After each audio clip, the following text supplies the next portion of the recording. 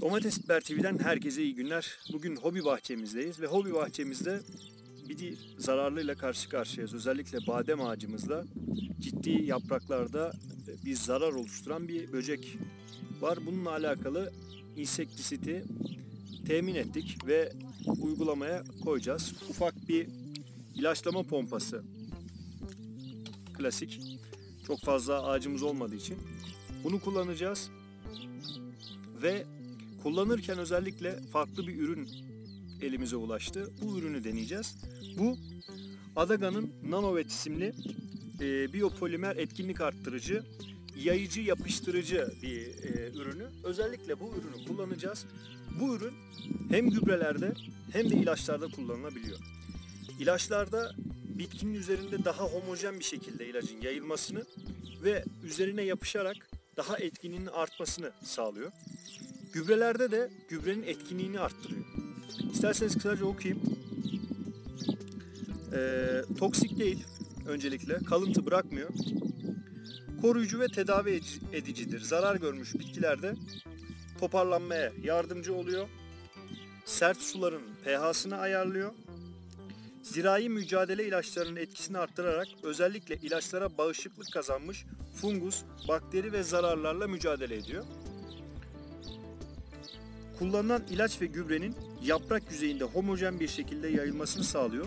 Böylece gübre alımı sırasında herhangi bir yanma ve besin birikimi oluşmuyor. Hani fazla bazen dozajı kaçırıyor çiftçiler ve bir yanma meydana geliyor. Bunun da önüne geçmiş oluyor.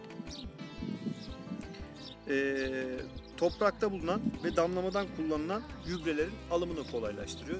Bunu damlamada kullanacağız ve ilaçlamada kullanacağız. Hasat sonrasında küf türlerinin oluşturdukları çeşitli metabolitlerin oluşmasını engelliyor ve çok büyük ürün kayıplarını engellemiş olur diye beyanatı var firmanın. Bize denememiz için bunu gönderdiler, elimize ulaştı. Biz de ilaçlayacağız. Özellikle şöyle bir durum var. Kuşburnu ağacımız, e, çalımız var. Bu kuşburnu çalısında, kuşburnu bitkisinde her sene bir problem yaşıyoruz. Her sene bunu yaprak biçi sarıyor. İlaçlamamıza rağmen ve bir tane dahi kuşburnu tüketemiyoruz. Bitkiye ciddi oranda bir zarar veriyor. İşte bu sene böyle bir araştırma içine girdik, talep ettik, gönderdiler. Ve bunu kullanacağız. Kullandıktan sonra bakalım etkisi nasıl olacak? Şimdi uygulama aşamasına geçelim. İlacımızı daha önceden bu 2 litrelik ilaçlama bidonumuza koymuştuk. Ee, ve şimdi bu yayıcı yapıştırıcı polimeri kullanacağız ve bitkinin üzerinde daha etkin ilacın uygulanmasını sağlamış olacağız. Normalde 100 litre suya aşağı yukarı 200 cc kullanılıyor. Biz tabi 100 litre değil 2 litre olduğu için çok az bir miktarda kullanacağız. İyice çalkaladık. Çalkaladıktan sonra kapağını açtık. Yani çok aşırı rahatsız edici bir kokusu yok. Ve bir miktar döktük. Tamamen bu kadar. Ve ilacımız kullanmaya hazır hale geldi.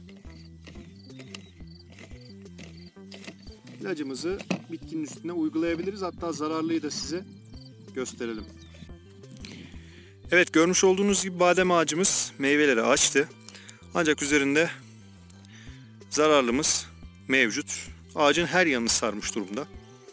Ve biz de şimdi ilaçlama yaparak bundan kurtulacağız. Yani bütün ağaçları ilaçlamıyoruz arkadaşlar. Gördüğünüz gibi zaten ilaçlama pompamız küçük. Bunu kullanıyoruz.